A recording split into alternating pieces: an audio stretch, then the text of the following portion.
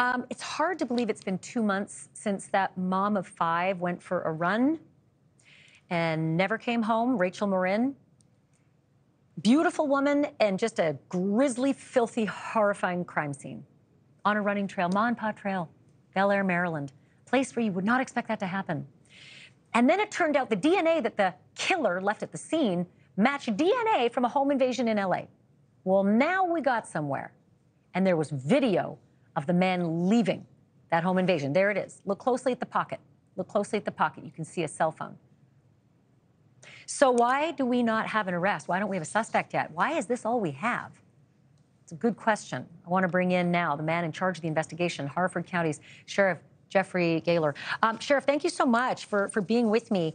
I am told that that investigators have spoken to someone in the D.C. area today connected to the case. What does that mean, connected to the case? I mean, you probably can't tell me who it is, but can you quantify what that means?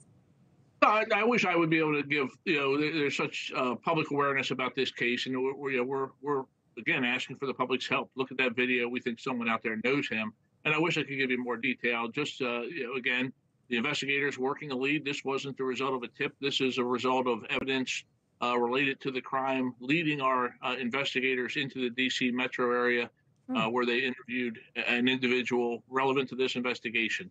Um, it is not a suspect, but hopefully somebody who can point us in the right direction to identifying that person who is uh, seen on camera out there in Los Angeles. But again, um, I, I want to emphasize, you know, I, I, do think that someone out there recognizes him, knows who he is, and uh, the family has put up an extra ten thousand dollars on top of our ten, and now the uh, law firm for the family has announced another ten.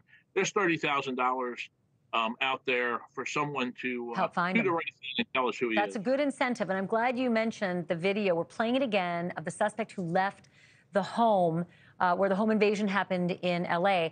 But I have to ask you something. That door slams, and there's what I think is a male hand inside the home slamming the door um, on this departing um, assailant. And that makes me think that the male hand saw the face because he doesn't have a mask on. Why don't we have a sketch? I mean, didn't weren't they able to give you some identifying qualities of this of this now we know killer? Sure. I, and again, I, that question has been asked a lot. That is indeed a male's arm, and, and we have released. Of course, there was a female that was assaulted in there. Both of them um, saw the face of this suspect.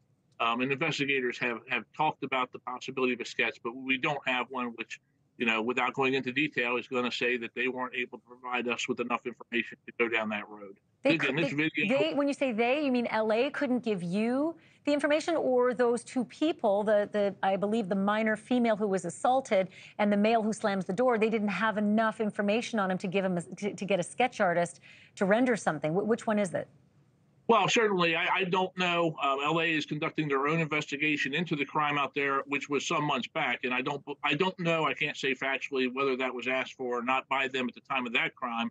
Our investigators traveled to Los Angeles and went to um, that residence with the uh, Los Angeles Police Department, and those kind of th- things were pursued as possible investigative leads, um, but were not able to be um, developed any further. So we don't I, have I wanna, that. I want to help you. I want sure. that sketch on the air. I want to help you uh, help LA uh, find this guy. Oh, but oh, it is so hard with the, such a tiny piece of evidence as that ring cam. We only see the back of him, but we do see a cell phone. He's got a cell phone. So the next question, obviously, in digital forensics, what about matching pings? Whatever pinged in that neighborhood on that night, what pinged in you know Harford County the the night the day that uh, well the evening that Rachel was killed? Aren't aren't there any forensics that match? Well I, would say so far you know there's a lot of things that can be done technology and science wise with between uh, technology there cell phone other devices or the DNA and we are working all those leads. We have a lot of people calling us letting us know what can be done. Trust me our investigators know what can be done.